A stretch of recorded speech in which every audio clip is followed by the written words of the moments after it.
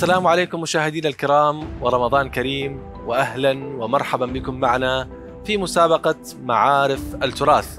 هذه المسابقة الرمضانية الفرقية التي ينظمها قسم شؤون المعارف الإسلامية والإنسانية في العتبة العباسية المقدسة. راح نكون اليوم معاكم في هذه الجولة، جولة المجموعات الأولى ضمن هذه المسابقة ومباراة إن شاء الله تكون مليئة بالمنافسة وروح التحدي ما بين فريقي القادسية وأيضا جامعة وارث الأنبياء. كل الترحاب بضيوفنا من كلا الفريقين آه، صفاء وسجاد وسجاد وكذلك آه، حسن وعلي وعلي أيضا كل التحايا لكم واهلا ومرحبا بكم. وكذلك كل الترحاب بحضراتكم مشاهدينا الأحبة الكرام راح ترافقونا خلال هذه الحلقة من المسابقة. مثل ما تعرفون جولتنا الواحدة فيها أربعة أسئلة. كل سؤال سيكون مخصص لشخص من حضراتكم والسؤال الأخير من كل جولة سيكون موجه للفريق ككل. نتمنى إن شاء الله تكونون مستعدين وعلى أتم الاستعداد في سبيل أن تحصلون على أعلى النقاط وتخرجون ب آه، إن شاء الله التأهل إلى المستوى الثاني من المسابقة. قيمة السؤال الواحد في الجولة الأولى عشرة نقاط. قيمة السؤال الثاني في الجولة الثانية 30 آه، درجة أو 30 نقطة. أما قيمة السؤال في الجولة الثالثة فهو 50 درجة. فنتمنى أن نكون دقيقين ومنتبهين جدا في الإجابات وأيضا احتساب النقاط لأن مهمة في آه، تحديد فوزنا أو خسارتنا. فنتمنى إن شاء الله الفوز لكلا الفريقين والحصول على أعلى الدرجات وإن شاء الله التصفيات ستحدد في الختام من سيكون معنا في المرتبة الأولى والثانية والثالثة والحصول على جوائز البرنامج والتي هي خمسة ملايين دينار للفائز الأول وثلاثة ملايين دينار للفائز الثاني ومليوني دينار عراقي للفائز الثالث. على بركة الله نبدي مع القادسية. شو تقولون شباب؟ قادسية. يلا نبلش مع القادسية. ومع سجاد تحديدا. إن شاء الله مسألة طبيعية. مشاركه بحد ذاتها هي فوز. كل إحنا قوية إن شاء الله. إن شاء الله الأول. سجاد معاك السؤال الأول في الجولة الأولى. جاهز مستعد؟ إن شاء الله جاهز. إن شاء الله. إن شاء الله. سؤالك يقول قبل أن يطلق عليها اسم الديوانية كانت تسمى الجزيرة لو الحسكة لو الواحة. كنا نعرفها الديوانية أو القادسية. قبل أن تسمى بهذا الاسم كانت تسمى الجزيرة أم الحسكة أم الواحة؟ استثمر وقتك اللي هو 30 ثانية فقط للإجابة على السؤال. العداد مشتغل؟ إن شاء الله الجزيرة. الجزيرة. عندك معلومة يا سجاد ولا ضربة حظ؟ ضربة حظ. ضربة حظ؟ نعم. المدينة مدينة القادسية ومدينتك. ضربة حظ. إن شاء الله. كنترول يقول الإجابة خطأ للأسف يا سجاد. الإجابة الصحيحة هي الحسكة وليست الجزيرة.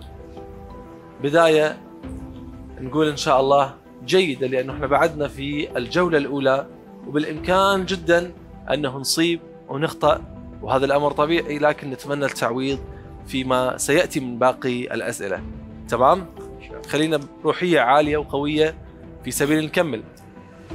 أستاذ علي جاهز؟ علي أحمد عبود جامعة وارث. قسم علوم القرآن علوم إسلامية. يعني إن شاء الله إن شاء الله إن شاء الله الفوز. إن شاء الله.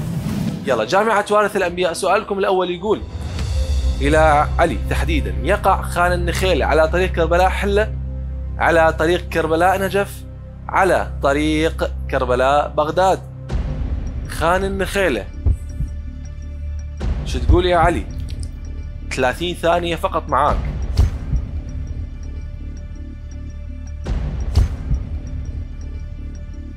حاول تستثمر الوقت تسترجع ذاكرتك وذاكرة الطريق أو الطرق التي تمر بها.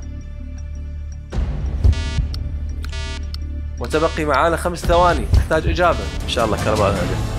كربلاء نجف. أحسك تأخرت في الإجابة ليش؟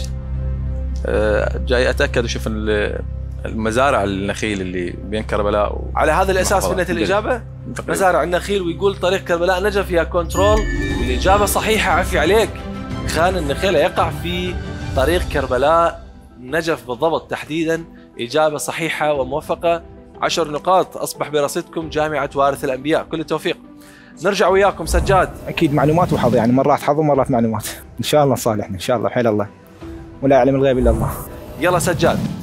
السؤال معاك يقول من نواحي مدينة الديوانية تعتبر من نواحي مدينة الديوانية هل هي الضلوعية والإسحاقي أم ألسنية والشافعية أم قلعة صالح والكحلاء؟ ألسنية والشافعية. يحتاج نوقف العداد لو نكمل. اعمامي هنا عمامك ها؟ إيه. إذا نثبت على الله. ألسنية تعالى. والشافعية والإجابة. انتظر الكنترول. صحيحة وعفي عليكم. مبارك عشر نقاط. أصبح الآن برصيدكم يا جامعة القادسية. حلو سؤال سهل. زين والأمور ممكن تتعدل وقابلة للتحسن. عشر نقاط كذلك برصيدكم يا شباب. جامعة وارث الأنبياء. علي هالمرة السؤال لك تعتبر أنه هذا الشيء يعتمد على معلومات وثقافة الإنسان. اللي كاتبه الله سبحانه وتعالى بالنتيجة هو اللي يصير. حاول ما أتوقع أبد. طموحي طبعا بالنتيجة يعني الفوز إن شاء الله.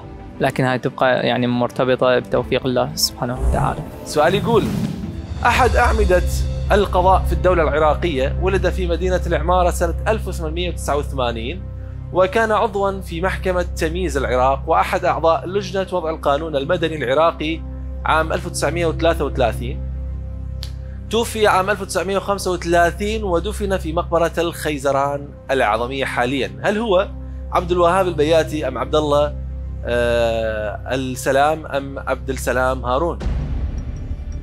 30 ثانية. أنت متخصص في العلوم الإسلامية. وليس لك بالقانون. لو لك بالقانون. لا. ما عندك خبرة بالقانون؟ ها يا. علي. ما عندي. ما عندك خبرة. شوف الحظ. عسى أن ينفع وياك. 30 ثانية وتبقي منها 10 ثواني. أحتاج إجابة قبل ما ينتهي الوقت. عبد السلام هارون. عبد السلام. هارون الإجابة الثالثة. بل. ضربة حظ ونشوف. إن شاء الله. إن شاء الله. كنترول يقول لا عبد السلام هارون إجابة خاطئة. الإجابة الصحيحة عبد الله السلام هو من كان يفترض أن تكون عليه الاختيار هو أحد أعمدة القضاء في الدولة العراقية آنذاك. كل التوفيق إن شاء الله فيما سيأتي من الأسئلة. ونتمنى لكم التوفيق. خلينا مركزين. أكثر يا علي. إن شاء الله. وإن شاء الله نطلع بنتائج جيدة حتى وإن كانت مو ضمن اختصاصنا. تمام؟ طبعا وين نروح المره صفاء. صفاء. توفيق من الله إن شاء الله. والله هي المشاركة بحد ذاتها إن شاء الله فوز. والنعم من صفاء. مستعد؟ إن شاء الله. يلا نروح للسؤال. السؤال يقول تعد مدينة الديوانية جزءا من منطقة السهل الرسوبي لو السهل المنخفض؟ لو الهضبة الغربية. السهل الرسوب. السهل الرسوبي ليش؟ عندك 30 يعني ثانية. إذا متأكد من المعلومة إن فليش؟ شاء الله إن شاء الله. متأكد؟ إن شاء الله. قاريها بالجغرافيا؟ أنت شاء الله. علوم قرآن قلت لي. هي علوم قرآن. علوم قرآن. إن شاء الله. نثبت على السهل الرسوبي؟ شاء الله إن شاء الله سهل الرسوب خلاص كنترول. نثبت على السهل الرسوب واجابه صحيحة. عفي عليك يا صفاء. مبارك إن صار رصيدكم 20 ان شاء الله وكنت واثق جدا من إن شاء الله، إن الإجابة. شاء الله. جميل جدا. يلا يا حسن. اللجنة المنظمة لهذه المسابقة مو الهدف منها المركز الأول والثاني وإنما نشر المعلومات والتراث الإسلامي لل- لنا وللعموم. وهذا طموحنا إحنا. بهذه المسابقة المعلومات اللي نكتسبها تبقى عندنا خزين عندنا مو مهم نفوز ونخسر هذا الطموح مالتنا وإن شاء الله التوفيق ما يهم الفلوس. المهم الأداء. كنا واحد إن شاء الله. واحد معتمد على الثاني. فريق واحد هنا. نريدك بثقة عالية أيضا. إن شاء الله. تحقق نتائج وتعادل الكفه حتى نكمل بمنافسة عالية. سؤالك يقول تعد سدة الكوت أطول سدود العراق حيث يبلغ طولها 200 متر 300 متر أو 550 متر؟ سدة الكوت أطول سدود العراق. 30 ثانية يا حسن. حاول تجيبها منا توديها منا نروح للخيار الثالث وان شاء الله 550 متر. أنت سمعت إنه أطول سدود العراق فقلت روح للأكبر. نعم. لم تخني الذاكرة 550 بعد ما أعرف. إذا ما. خانتك الذاكرة. وإذا خانتك شلون؟ بعد إن شاء الله نعوض. إن شاء الله نعوض. يلا نروح إلى 550 متر يا كنترول والإجابة صحيحة وعفي عليك وعلى ذاكرتك. إن شاء الله ما كنت خالد دقيق وموفق في هذه الإجابة. عفي عليك يا حسن صرنا 20 ب 20 تعادلت الكفة قبل ما نذهب إلى السؤال الجماعي لكلا الفريقين. حلو. نرجع للقادسية والديوانية إن شاء الله. سؤالكم يقول هالمرة تقدرون تشاورون ها؟ إن شاء الله إن شاء الله. من المدن التاريخية المهمة في مدينة الديوانية والتي اشتهرت بحضارتها العريقة عبر العصور السومرية والبابلية هي مدينة نفر أم الدراهمية أم إيسن؟ سولفوا وراجعوا وانطونا الإجابة خلال 30 ثانية. أنا جاوب. ننتظر الكنترول. وأنتم خليكم على استعداد. حاليا يلا يلا. المعاصر نفر. بس من امال إيه، إن شاء الله إن شاء الله الأول. عشر ثواني بقى إن شاء الله مدينة نفر. الاختيار الأول. الاختيار الأول الله. مدينة نفر. متفقين. إن شاء الله. كنترول. نثبت على الإجابة الأولى. والإجابة صحيحة. عفي عليكم. صار معاكم 30 نقطة في رصيد جامعة القادسية كحصاد الجولة الأولى. مبارك لكم شباب. يلا يا وارث الأنبياء. المرة همتكم والسؤال لكم يقول تم تشييد أول سور للحائر الشريف في كربلاء في عام 372 للهجرة وبلغت مساحته 2400 متر مربع 2900 متر مربع أم 3000 متر مربع. أول سور. سولفوا مع بعض. راجعوا تذاكروا شنو عندكم من معلومات؟ حاولوا تستذكروها. في عام 372 دور مساعدة تتوقع بس لا فوق ال 2000 ها فوق ال 1900 ناخذ 2900 يلا عملية تشاور وقت لكم خمس ثواني. أحتاج إجابة. 2900 خيار الثاني خيار ثاني. الخيار الثاني يا علي. إن شاء الله. 2900 متر. مربع. كنترول.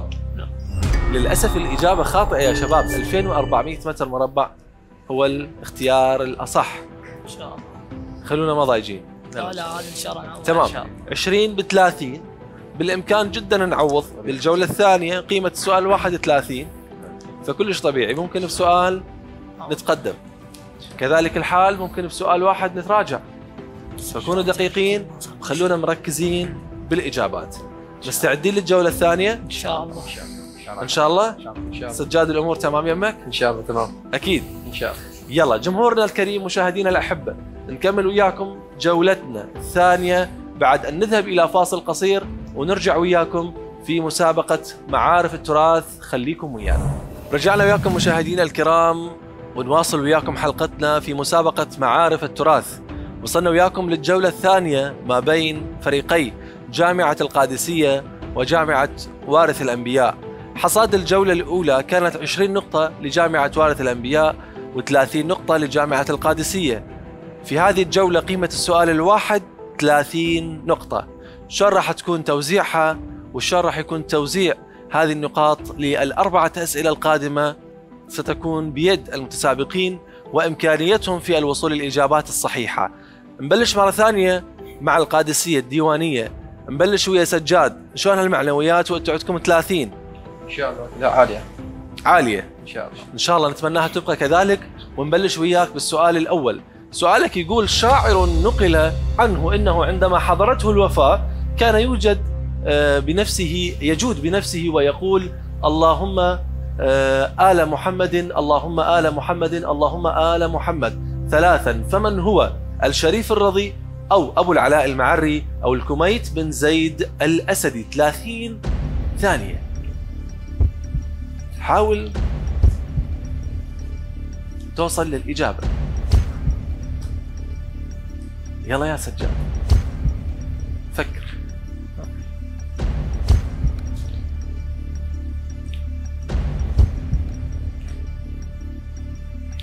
شاء الله الشريف الرضي. الشريف الرضي. نعم. ثبت. ان شاء الله إذا نعتمد الإجابة الأولى كنترول اللي هي الشريف الرضي والإجابة خاطئة. الإجابة الصحيحة الكميت بن زيد الأسدي يا سجاد. للأسف حاول تركز على الأسئلة القادمة تمام؟ يلا نروح وياك يا علي. جامعة وارث الأنبياء. نعم. معنويات تمام إن شاء الله ونروح للسؤال. السؤال يقول من القائل يا للرجال أما لله منتصف من الطغاة. أما, أما للدين منتقم. بنو علي رعايا في ديارهم والأمر تملكه النسوان والخدم. هل هو أبو الطيب المتنبي أم أبو فراس الحمداني أم دعبل الخزاعي 30 ثانية يلا يا علي من قائل هذا البيت؟ أنت صح علوم إسلامية لكن نعم. الثقافة الشعرية بلى. ممكن تكون قريبة وممكن تكون من الاهتمامات.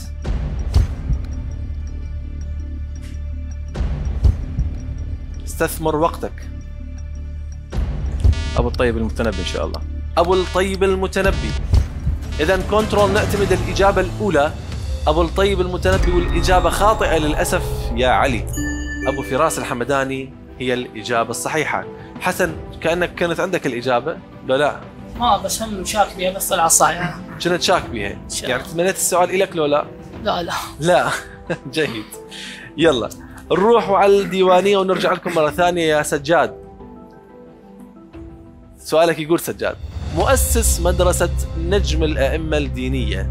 هو آية الله العظمى السيد علي الحسين السيستاني آية الله العظمى السيد محمد سعيد الحكيم آية الله العظمى الشيخ محمد إسحاق الفياض من هو مؤسس مدرسة نجم الأئمة الدينية؟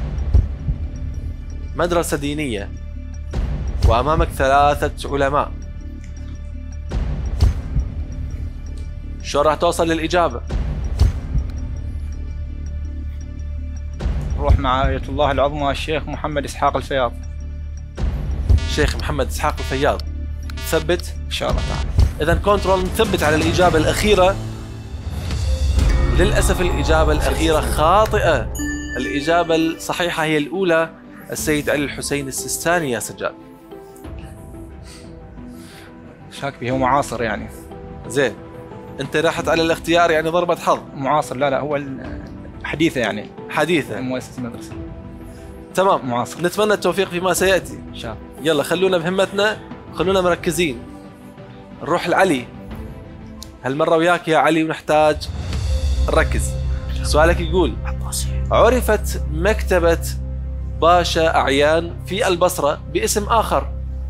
فما هو؟ المكتبة الحسينية أم المكتبة العلوية أم المكتبة العباسية؟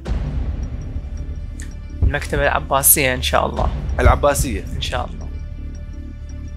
نوقف العداد. إن شاء الله. المكتبة العباسية إجابة صحيحة. عافية عليك يا علي. وصلت للاستنتاج؟ ولا عندك معلومة؟ بني مار علي. مار عليك؟ بني. الحمد لله. إذا مر عليك ال- السؤال فإذا نتمنى لك كل التوفيق. وصار رصيدكم 50 نقطة يا علي. بفضل هذه الإجابة القيمتها 30 درجة. يلا نبقى 30 معاكم.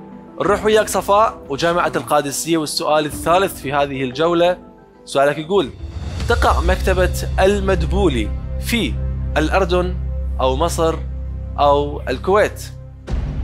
أين تقع هذه المكتبة يا صفاء؟ عندك 30 ثانية. إن شاء الله. حاول تركز وتستثمر وقتك وتشوف لي الإجابة الصحيحة.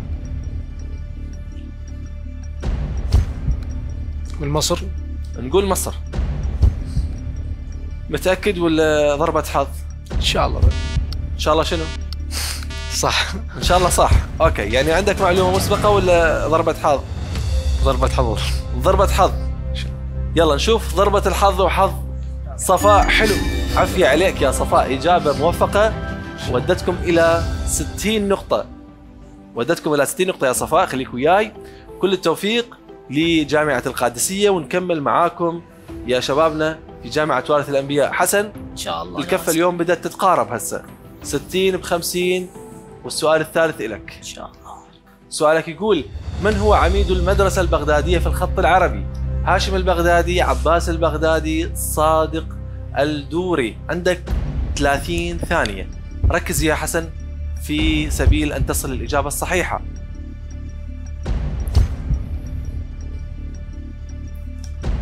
أعتقد الخيار رقم واحد. نروح للخيار رقم واحد. إن شاء الله يطلع صح. الخيار رقم واحد. هاشم البغدادي تثبت على الإجابة؟ إن شاء الله نثبت. تحب الخط؟ نحب الخط طبعا. خطك حلو؟ لا. مو حلو. ابدا. كنترول هاشم البغدادي. إجابة صحيحة عفي عليك يا حسن كل التوفيق. هاشم البغدادي هو عميد الخطاطين. فكل التوفيق لك يا حسن. صرت 80 نقطة مقابل 60 نقطة إلى جامعة القادسية. الحد الآن نحتاج بعد سؤال بسؤال. تمام؟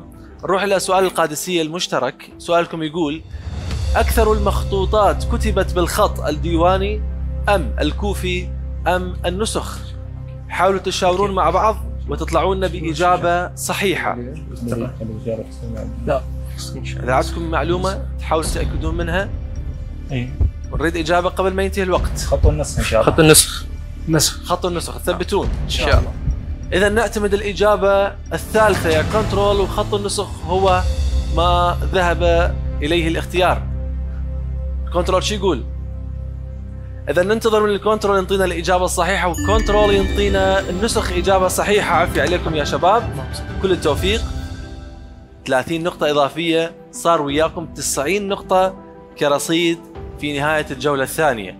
كل التوفيق. خليكم حافظين على همتكم وحماسكم. وإن شاء الله القادم أفضل. شبابنا جامعة وارث الأنبياء 80 نقطة والفارق قليل. وعندكم سؤال. سؤالكم يقول يا شباب مؤسس مدرسة العلامة البلاغي الدينية هو الشيخ محمد علي البلاغي أو الشيخ محمد جواد البلاغي أو آية الله العظمى السيد السيستاني. 30 ثانية سولف مع بعض. حسن أنت إجابة لربما. لأن حسيت واثق طابع المجموعة. أستاذ علي؟ الجواب إن شاء الله الثاني الشيخ محمد جواد البلاغي. حسن عندك يعني متيقن؟ عندك إجابة؟ إن شاء الله. نقول يا الله ونشوف ال وحسيتك يعني. فرضتها على المجموعة لو لا؟ لا لا بالتشاور بالتشاور. ماخذين بالدراسة. حلو. كنترول نثبت على الإجابة الثانية. شيخ محمد جواد البلاغي. وللأسف الإجابة الصحيحة آية الله العظمى السيد السيستاني هي. للأسف الإجابة هي آية الله العظمى السيد السيستاني وليس الشيخ محمد جواد البلاغي يا شباب. لحد الآن أنتم مصدومين. أكو تشابه بالأسماء أو أكو مدرسة أخرى مشابهة. إن شاء الله. إن شاء الله. عموما الفارق ليس كثير يعني. 80 90 وإحنا بعدنا بالجولة الثانية. وراح تكون معانا جولة ثالثة قيمة السؤال الواحد بها 50 50 نقطة. تمام؟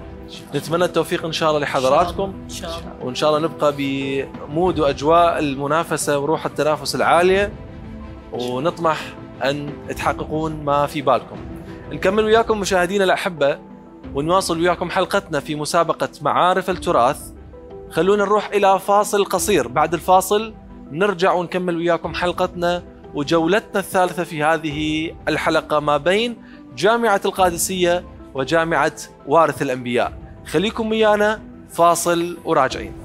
رجعنا وياكم مشاهدينا الكرام بعد هذا الفاصل الأخير في حلقتنا لهذا اليوم ومسابقتنا الحالية ما بين فريقي جامعة القادسية وجامعة وارث الأنبياء 90 نقطة مع القادسية 80 نقطة مع وارث الأنبياء وصلنا وياكم للجولة الثالثة واللي هي راح تكون مسك الختام وبها راح تكون النتائج النهائية. 50 درجة لكل سؤال يا شباب. من أصل أربعة أسئلة 200 نقطة قادمة بإمكانكم أن تحصلوها. وأيضا بالإمكان يا شباب أنتم تعدلون الفارق البسيط اللي بيناتكم أو ممكن العكس. هذا كله مرهون بمدى تركيزكم ومدى الوصول للإجابات الصحيحة بشكل أكبر وأكثر. مستعدين وجاهزين؟ إن شاء الله. يلا نبلش وياكم وجامعة القادسية مع سجاد. سجاد سؤالك يقول الشريف الرضي نقيب الطالبيين كان عالما فاضلا وشاعرا مجيدا ولد في بغداد سنة 359 للهجرة وتوفي ونقل ليدفن في مدينة أخرى. فقد توفي في النجف ونقل إلى بغداد توفي في كربلاء ونقل إلى المدينة المنورة توفي في بغداد ونقل إلى كربلاء المقدسة. 30 ثانية معاك يا سجاد ركز. السؤال لك يا سجاد فقط. حاول تركز وتستثمر الوقت المتبقي 15 ثانية.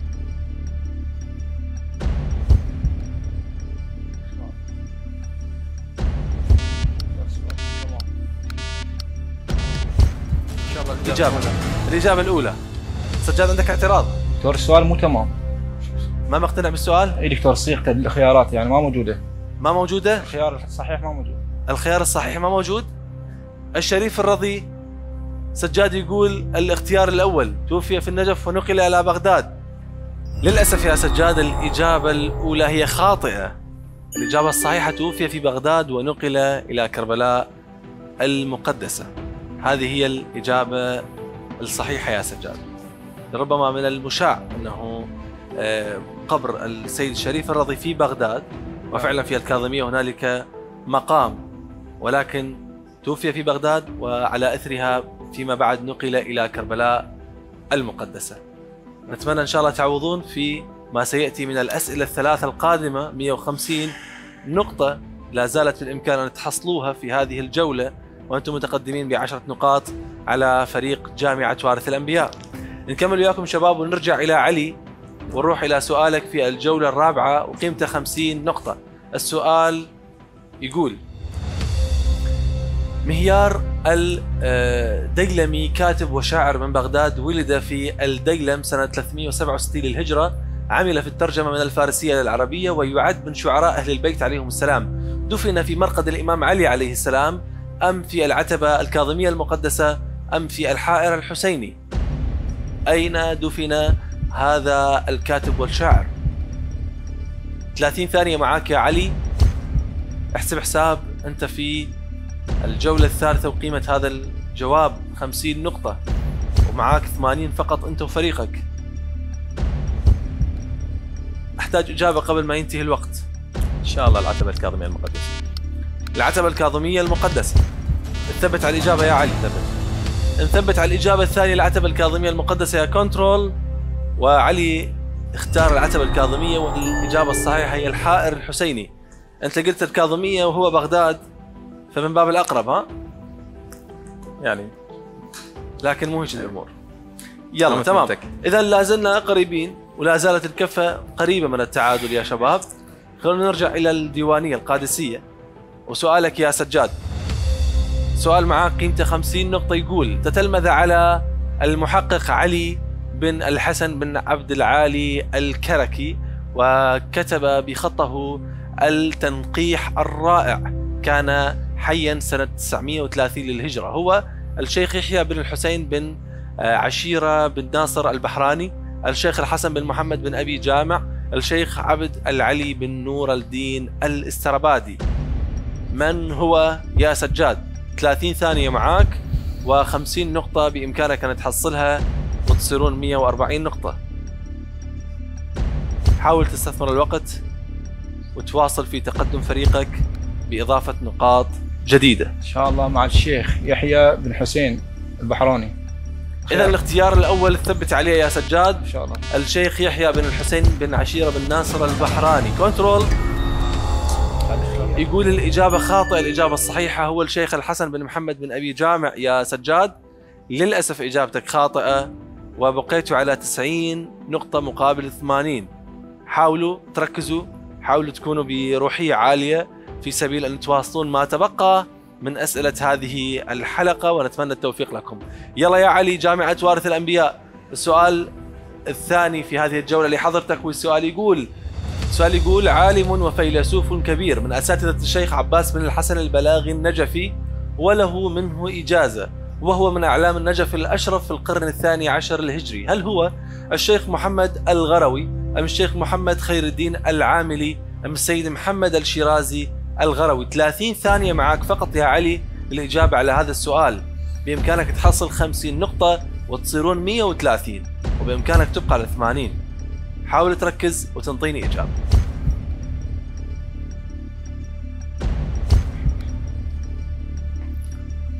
إن شاء الله الشيخ محمد الغروي. الشيخ محمد الغروي الاختيار الأول. إن شاء الله. تثبت يا علي. إن شاء الله. متأكد من المعلومة ولا ضربة حظ؟ أنا احسها هي مرة علي بس ما قاعد اتذكرها 100 مر عليك بس ما متأكد. الكنترول علي ثبت على الإجابة الأولى. الشيخ محمد الغروي الاجابه الصحيحه محمد شيرازي الغروي. للأسف يا علي الإجابة خاطئة. اذا نبقى على ما نحن عليه من النتائج ونصل إلى المتسابق الثالث صفاء. يلا وياك. سؤالك يقول هي كلمة سحرية من كلمات علم الحروف تكتب في بداية المخطوط لحمايته من الأرض والحشرات. هل هي طلسم أم أقدس أم بدوح. إن شاء الله نقول طلسم إن شاء الله تقول طلسم إن الله. إن شاء الله. توكل على الله. صفاء عندك وقت 20 ثانية متبقي. إن شاء الله. توكل على الله نقول طلسم تكتب في بداية المخطوطات. انطيني إجابة. ثبت لي على إجابة. للأسف الإجابة خاطئة وانتهى الوقت معانا يا صفاء. الإجابة الصحيحة هي بدوح. نتمنى التوفيق في السؤال العام إن شاء الله. عسى أن تعدلوا فيه النتيجة. يا حسن يا أما تعدل الكفة وتصير عندكم فرصة. إن شاء الله. يا أما لا. يلا السؤال الخاص بك بجامعة وارث الأنبياء ضمن الجولة الثالثة. أداة لتجليد الكتب وتصنع من الرخام الأسود أو الأبيض الجيد. تسمى البلاطة البقم أو البرقار 30 ثانية. لربما الإجابة أو السؤال صعب أو غريب. لكن الفائدة هي الغاية. صحيح. تقديم معلومة جديدة للمتلقي. هي ما نسعى الخيار إليه. الأول. إن شاء الله البلاطة. البلاطة. أعتقد. متأكد؟ اعتقاد. يلا كنترول. حسن يقول البلاطة هي الإجابة الصحيحة وبالفعل إجابة صحيحة. مرة عافية عليك. عليك يا حسن.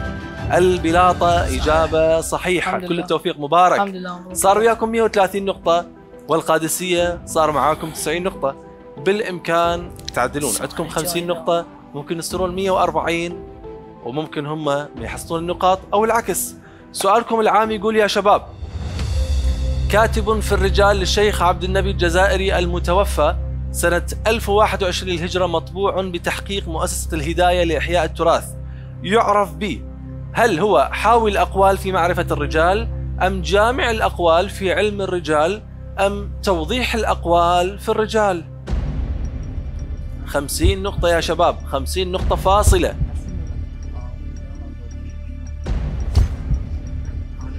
ثلاثين ثانية. لربما هي الأصعب بالنسبة لكم. حاول حاول. أنا توضيح أعتقد. أريد إجابة. الروع ما ح... إن لا. شاء الله الإجابة الأولى حاول. لا أقوال في لا معرفة. الرجال توضيح الأقوال. ما مقتنعين حاول أقوال إن شاء الله في معرفة الرجال حاول أقوال في معرفة الرجال. خلص الوقت. توضيح الأقوال. إذا نثبت على الإجابة الأولى. يا كنترول. والإجابة صحيحة. عافية عليكم. صفاء. كأنك كنت مختلف وياهم. والله. كنت تريد الخيار الثالث وكان بقيتوا مع التسعين. صح. يلا يلا الحمد لله. يلا كل التوفيق. 140 درجة مقابل 130 هنا أنا الموضوع صعب عليكم يا شباب. 130 ممكن نضيف لها 50 وممكن القادسية تصعد. سؤالكم يقول للشريف المرتضى أبي القاسم علم الهدى المتوفى. 436 للهجرة ثلاثة مجالس مختارات من كتاب الأمالي. طبع بتحقيق الأستاذ الدكتور عباس هاني الشراخ وسمه ب غرر الفرائد ودرر القلائد غرر الفوائد وثمر العوائد غرر الفوائد وقلائد العوائد. الاختيارات متقاربة. الثلاثين ثانية الأصعب في هذه الجولة وفي عموم الحلقة. 140 130 أما نصير 180 أو نبقى 130 وتتأهل القادسية. أعطوني إجابة قبل ما ينتهي الوقت. الأولى. الأولى إن شاء الله. الأولى قرر الفوائد أو الفرائد ودرر القلائد. كنترول الإجابة الأولى. الإجابة الأولى صحيحة عفية عليكم. هي الإجابة الصحيحة. الحمد لله. غرر الفرائد ودرر القلائد. مبارك. 180 درجة مع جامعة وارث الأنبياء 140 درجة مع جامعة القادسية. فارق ليس بكبير ما بين المجموعتين وبالنتيجة الفوز إن شاء الله يكون من حليف كلا الفريقين. لازلنا في هذه المجموعة الأولى في دور المجموعات وللنقاط سيكون دور في تحديد من سيكون معنا في الحلقات القادمة. فمبارك لكم ومبارك لكم أيضا 140 درجة هي لربما أكثر من بعض المتسابق المتسابقين الذين كانوا معنا في الحلقات السابقة وممكن أن تؤهلكم إلى حلقة أخرى معنا في هذه الجولة أو في هذه المسابقة. أنتم أيها الأحبة الكرام كنتم معنا خلال هذا الوقت ونتمنى أن نكون وفقنا في أن ننقل لكم معلومة مفيدة جديدة لمسامعكم الكريمة. لكم أيضا دور كبير في المشاركة في هذا البرنامج. هنالك سؤال مخصص للجمهور في كل حلقة من حلقات البرنامج. وسؤال حلقة اليوم وهو يقول يقول السؤال صدر عن مركز تراث كربلاء التابع لقسم شؤون المعارف الإسلامية والإنسانية في العتبة العباسية المقدسة. كتاب يوم الطف مقتل الإمام الحسين عليه السلام وهو من تأليف من تأليف من هذا الإصدار. بالإمكان الإجابة على هذا السؤال. من خلال الرقم الظاهر أسفل الشاشة من خلال تطبيق الواتساب وكل الإجابات ستجمع. الإجابات الصحيحة طبعا وتدخل في القرعة بعد نهاية الحلقات إن شاء الله ونهاية هذا الموسم. وهنالك ثلاث فائزين معنا في هذه الفقرة في فقرة الإجابة على سؤال الجمهور. وثلاثة جوائز قيمة الجائزة الأولى الذهاب إلى بيت الله الحرام الجائزة الثانية الذهاب إلى زيارة الإمام الرضا والإجابة الثالثة هي الذهاب إلى آه، سوريا وزيارة السيدة زينب عليها السلام. فنتمنى أن تكونوا من المحظوظين بإحدى هذه الجوائز من خلال الإجابة على السؤال. وبهذا أكيد نشكر حضوركم شبابنا فريق جامعة القادسية وأكيد كل الشكر لكم أيها الأحبة فريق جامعة وارث الأنبياء. كنا معكم خلال هذه الحلقة ونتمنى أن نلتقي في حلقات قادمة. كذلك الحال معكم أيها الأحبة جمهورنا الكريم نلتقيكم في حلقة قادمة في برنامج مسابقة معارف التراث. إلى ذلك الحين نستودعكم الله ومع السلامة.